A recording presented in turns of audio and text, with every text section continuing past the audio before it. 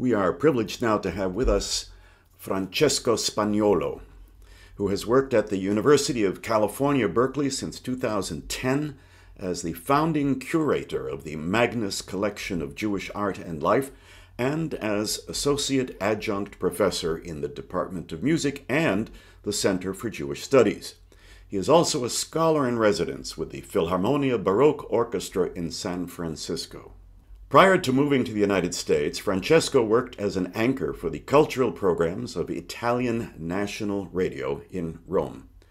And he just told me that when he was young, he met the renowned Professor Israel Adler, the great musicologist who inspired him to do his work. So, welcome, Francesco. Thank you, Josh. It's so good to be here with you. So, we're investigating the life and work of Salamone Rossi Ebreo, and no one knows more about Jewish music in Italy than you. Help us put Rossi's achievement in context. Tell us about Jewish music in Italy in the various communities. So, the way I've been contextualizing Salamone Rossi has been by trying to reconstruct the dynamics of synagogue life in uh, Italy.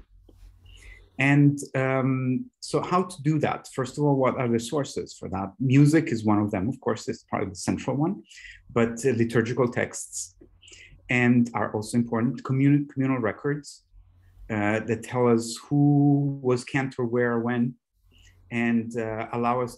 These are records that often allow us to reconstruct uh, the genealogy of cantorial families and rabbinic families. And in Italy, we actually when we when we think about music in the synagogue we have to think about both kind of like what happened with with Salamone Rossi and and Leone Modena even Leone Modena himself about both rabbis and cantors um, rabbis have a very very active and traditionally and historically have had a very very active role in um, sort of um, setting up the, the the context for for music in the in the in the Italian synagogues so that's that's one type of contextualization. The other is more broadly cultural.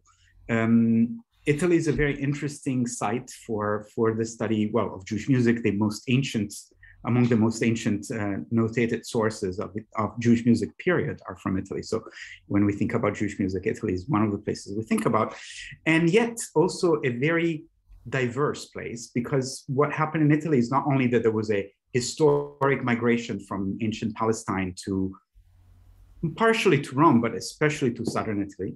But then there were many internal and other global migrations. So, with the expulsion of the Jews from Spain, um, we have to think that the uh, Jews of southern Italy were also under Spanish rule, so they were expelled as well. So, the expulsion of the Jews from Spain in uh, in uh, in Italian terms is also an, an important factor. Where did these Jews go? Some of them just sprinkled like all the other Iberian Jews sprinkled themselves around the Mediterranean, North Africa, and the Eastern Mediterranean and beyond. And um, but others moved northbound. So we have this movement of the heirs to the ancient Jewish communities of southern Italy moving northbound. A classic example of that is the last name Pugliese, which means Apulian from the from the region of the, the that's the the the heel of the boot region from this area. And it's a, it's a Jewish last name from northern Italy. And that's that's just one example of how we can track this. We can track this linguistically. Uh, my my my good friend, an incredible scholar of, of Judeo-Italian languages, George Jochnowitz, um, has kind of over the years mapped out the idea that there is there is a spreading of Southern Italian linguistic elements into the north that is possibly a consequence of this internal migration. So that's an important aspect. When we think today of Italy, we think of a country called Italy. But of yeah. course, the period we're talking about, the Italian peninsula, mm-hmm. was yeah. divided into many different, I don't know if we would call them countries or duchies or, or All lands. sorts of countries. Yeah, which had their own uh, culture, their own different languages, actually, mm-hmm. and competing with each other, at war with each other sometimes. Mm-hmm. Yeah.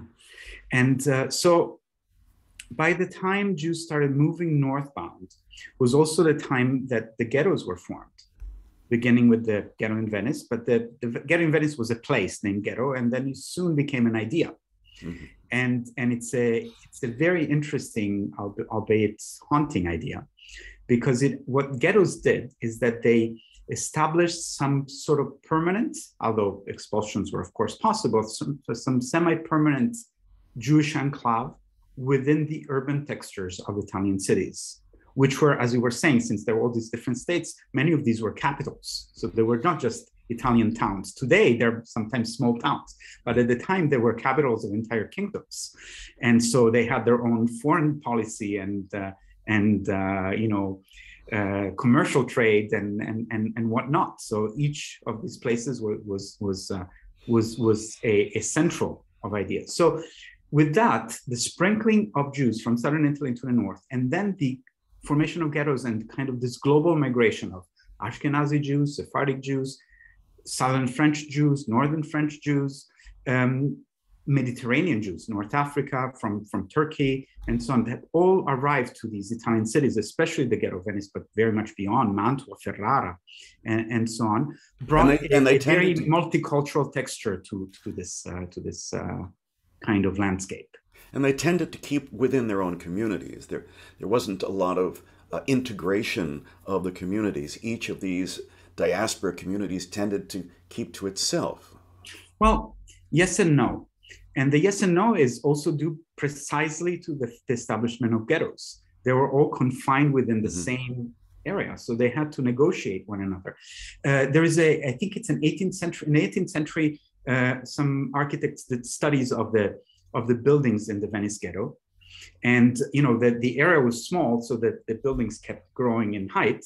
Skyscrapers. And, and yeah. we have this incredible drawing, and it has actually for each apartment unit has last names of who inhabited, and in some ways it's not different from an apartment building in Tel Aviv or Jerusalem today, where you will have you know Ashkenazim and Yemenites on, you know, on the same floor and above you will have Polish and, and Moroccan and, and so on and whatnot, and Greek, etc., etc.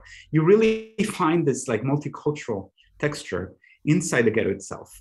So they couldn't really keep to themselves. They kept um, they had their own synagogues. They kept liturgical texts, but they blended mm. and uh, they intermarried and also other things happened like think about the, the, the cultural history of the core synagogues in the Venice ghetto. The first one to be established is the so called Scola Tedesca, mm-hmm. which means German. Mm-hmm. So, most people, when they hear German in this context, they think it's the synagogue of the German Jews.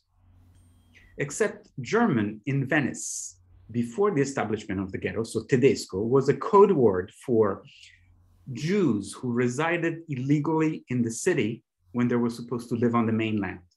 Ah. So basically, Tedesco meant Jews in Venice. And when we when we listen to their to their melodies today, we see that there is a syncretism between Ashkenazi and Italian melodies in that in that tradition.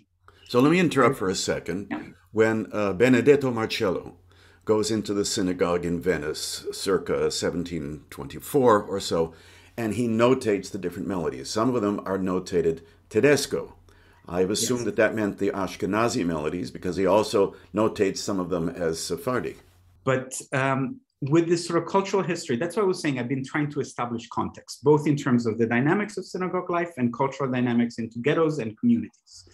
And so when we when we think about it this way, we understand that that was actually the synagogue of the earliest arrivals, the more permanent Jews in this very moving and changing landscape. Venice was, you know, the capital of, of the world almost at that time. You know, it was like the Paris of the 19th century, the New York the 20th.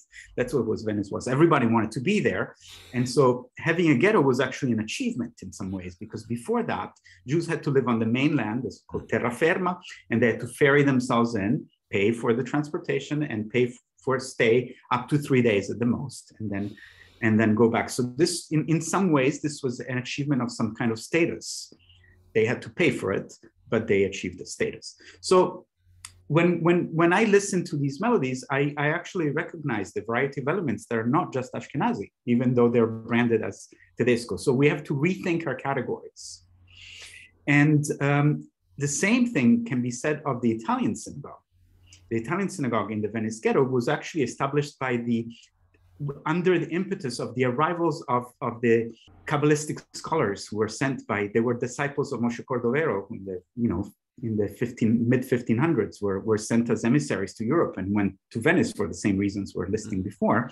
And so it's true that they adopted the Italian prayer book, but they also started, they republished it there were printing presses that printed Hebrew, mm-hmm. and they republished it and they started inserting Kabbalistic language there. So they started changing it and making it also their own.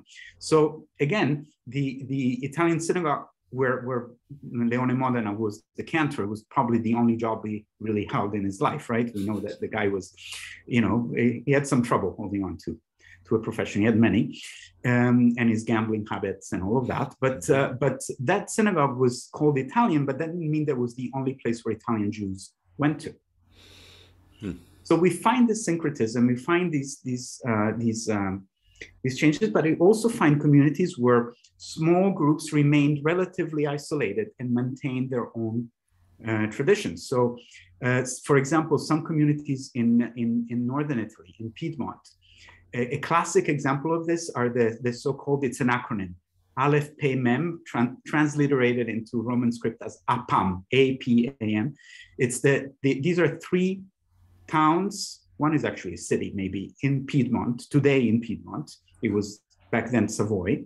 But um, actually, back then was something else, and I'll get to it in a second. But it was Asti, Fossano, and Moncalvo. So in these three locations, French Jews who were the heirs to a Western Ashkenazi uh, musical and liturgical tradition, settled in the 1300s and maintained their traditions only for the high holidays uh, until the community lasted. And, you know, the, the last remains were recorded in the 1950s, but probably before World War II, they already were vanished. At the time they settled, these three towns were at the border of three different states. So that's an example of the interconnectedness. So heirs to one community arrive from, from France, settle in, in northern Italy, and they settle into three countries, and they're able to essentially, by living just a few miles down the road from each other, do international trade hmm. and maintain a collective tradition of culture and music. And then each community kind of drifted in different ways. So when, when we look at, at, at their music and, and the written music that they left behind, we see how some, some like some of these communities then veered towards Ashkenazi or stayed in the Ashkenazi sphere of Italy, and others went more towards the Italian sphere of Italy. So let, let's just do a little recount of things. We have Southern Italian Jews, which are essentially and, and Roman Jews, which are essentially what we refer to as the Italian Italian Jews in Italy the earliest arrivals from Palestine, the earliest set, settlement of Jews in, in history. So we're going back a couple thousand years. Sephardic Jews that arrived from, from both, um, um, both um, uh, Iberia, but also through North Africa and, and, the, and the Eastern Mediterranean and the Balkans. We have Southern Ashkenazi Jews who arrived from today's Austria, Southern Germany, and they, they settled, they crossed the Alps and they settled in northern Italy.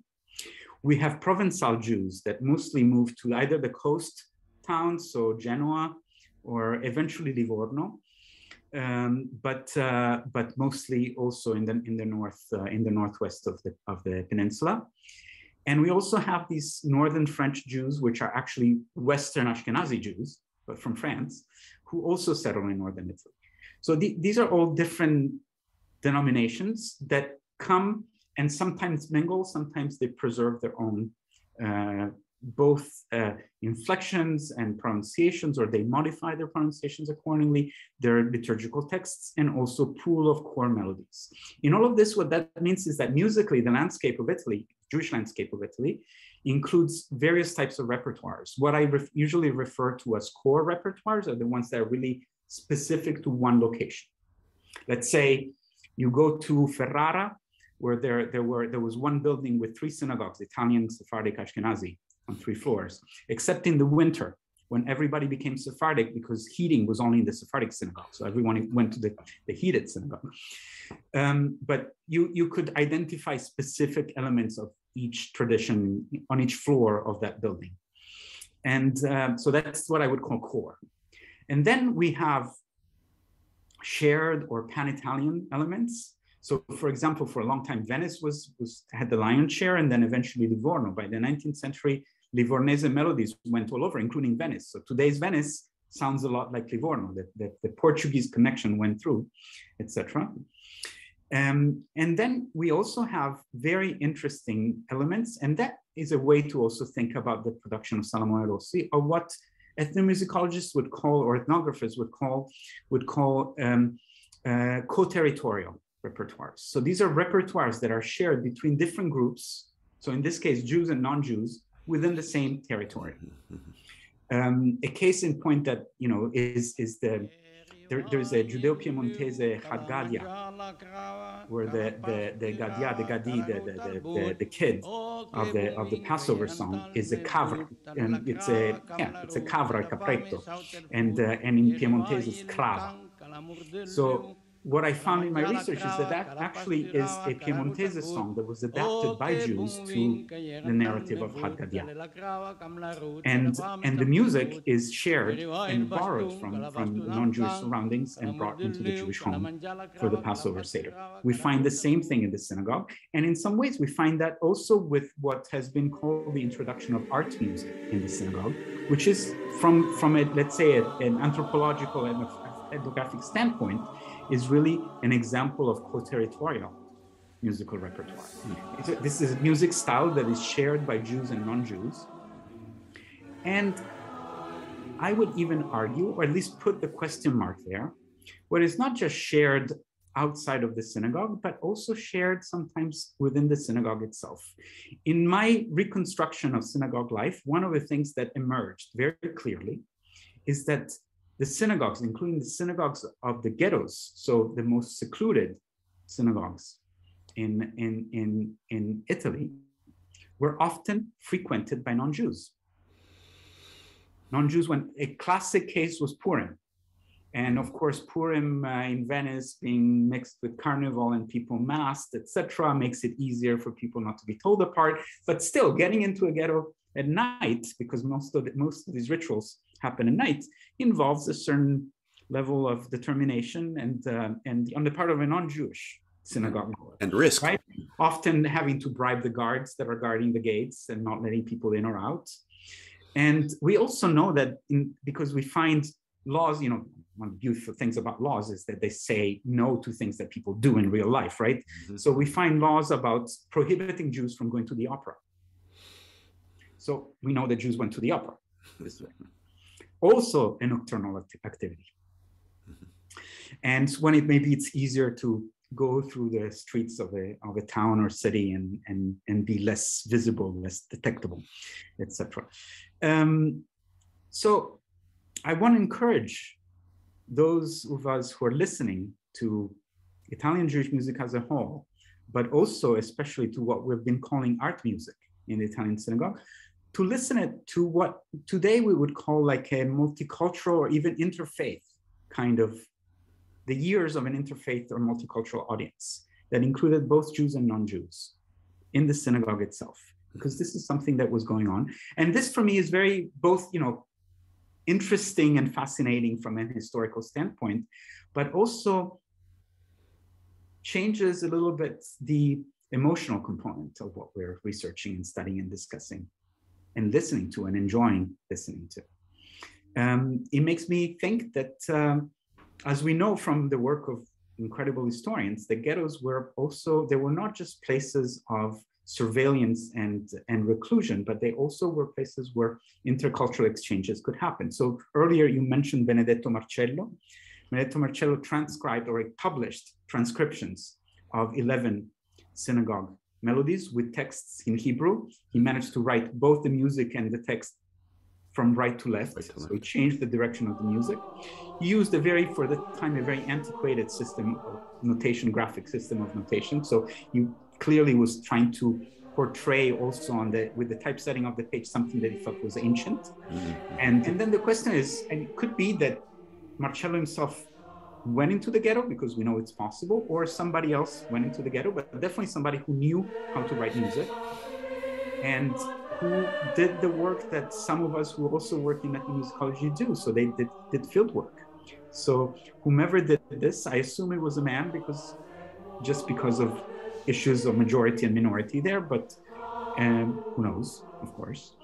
But whomever, and if maybe Marcello himself transcribed transcribe these things, it meant that they had to sit with their informants and have them repeat things multiple times. So it means there is a physical proximity that's important. The same physical proximity we can also reimagine when we look at the pages of Salamone Rossi's Shirim, his Hebrew uh, compilation. Because that volume, which was published, we're getting there uh, 400 years ago, pretty much. Um, that volume was printed at the Bragadina Press in Venice, which was a press that was mostly known for its uh, Hebrew printing, but it had musical types, had musical notes that were printed as well. And Bragadina did not have music. Venice did. There were many very important, essential music printers in Venice, but Bragadina was, as far as I know, there is no other musical work in its catalog.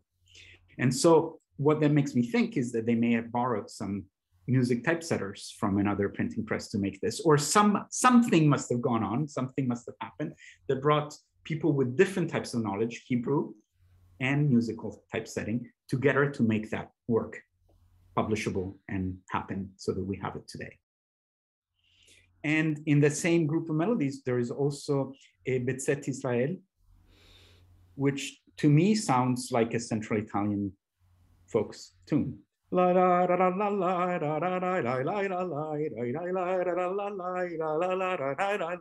And even more so, a, fo- a Central Italian folk tune for the period of Christmas. And of course, this is a this is a Betzet Israel for the most likely um, and I imagine also was collected in the same context as Maoz Tzur, but most likely for the Hallel for, for, for Hanukkah. So these sources continue to prompt us to think in all kinds of ways. My main suggestion is to think about them in the context of both the dynamics of synagogue life, uh, the fact that you know women had a certain presence in the synagogue, starting at a certain point, and non-Jews had a constant presence, that the dynamics of synagogue like changed. Children were there, children were not there, etc. And so on. Rabbis had a role just to remind our audience. Uh, um, Kol Nidre in the Italian synagogue is typically a rabbinic piece, not a cantorial piece. So rabbis have a direct impact.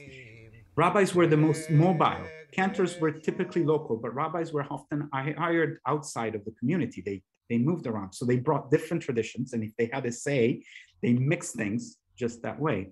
And then families, quote unquote, intermarried, right? Um, different within the group because the population was always very small. And uh, so families themselves are a representation of this mosaic of, of cultural encounters. And, and those are then reflected back into synagogue life. And also really think about the multicultural encounters that the ghettos engendered and that continue to be a source of wealth of ideas and creativity to this day. And it's incredible how something that was done to control, to surveil, and at times to really also oppress a minority turned out to be such a fruitful laboratory of ideas. Um, um, I think that actually a series of unforeseeable and, of course, unforeseen causes were unleashed by the establishment of ghettos in Italian cities at a very, very specific and peculiar juncture in world history. I, have read someplace, I don't know if this is true, that uh, even before the um, exile in uh, 70, that there were Jews who went to Italy who were traders during the Maccabean period, for example, and that there was a sizable uh, Jewish population in Italy furthermore, that many of the Romans wanted to become monotheists. and mm-hmm. there was no Christianity at the time, and it was up to maybe 10% of, of Italy or of the Roman Empire became Jewish, not just from the ethnic Jews, but those who adopted the religion. Is there any truth to that? Well, you know, I'm, I'm not an historian of, of that period, but what I know from those who are is that it's true. Also, Jews went from ancient Palestine, from Judea, went as political emissaries directly to Rome. Oh, mm-hmm and but uh, there there were Jewish catacombs in Rome. They're mm. finally being reopened and made accessible. Um, there are Jewish catacombs in Rome, but also in southern Italy. From what period would those date? Uh, well, so these are the early centuries Jewish presence in the Italian peninsula, and what these what, what these Jews brought to that land, they're one of the most rooted minority in the Italian peninsula throughout its history. One of its most trans-regional, as I discussed in, in, in our conversation, trans, trans-regional minorities. Mm, Italian minorities tend to be very rooted in one place. And, and Jewish Italian minorities know they're interconnected. So they have a, they've developed a sense for the peninsula that was granted to them in a way by, by, by their status and by their status of, of, of moving diasporic minority. So the, the ghettos, most of the ghettos were opened by Napoleon in the early 19th century, with the exception of the ghetto in Rome, which I think mm-hmm. you said was 1870. 70, yes. It was opened up. Well, so they so cities where Napoleonic troops arrived mm-hmm. saw their ghettos opened, but there was also a counter uh, uh, movement. Mm-hmm, so mm-hmm. at times when Napoleonic rule was no longer in place, ghettos were reinstated, mm-hmm, which was kind of mm-hmm. brutal, especially in the 19th mm-hmm. century, because it was, a, you know, as I was saying, you know, in, in the early centuries, in probably the early decades even uh, of Italian ghettos, there was a sense that this was somehow an achievement. Mm-hmm. But as centuries went on, it's very clear. I mean, in reading what what Jews, ghettoized Jews in the early 19th century, mid 19th century right, they're really suffering from, like, they, they feel it's deeply unjust what they are suffering. That what it, that their suffering is illegal, un, un, unconceivable by human by mm-hmm. humans, mm-hmm. needs to be remedied. And this is why also they joined with their entire soul into the national movement of Italian reunification as a way to, to, to really pave the way for, hmm. for a more legitimate, more stable Jewish life in the country. And in some ways they succeeded. And you know, then in 1922, Benito Mussolini went to power and things changed. But that's another story. Maybe we're not going to talk about that. Francesco, thank you so much. This is so fascinating great of you to, to, to share this information with us. Thank you, Josh. Take care.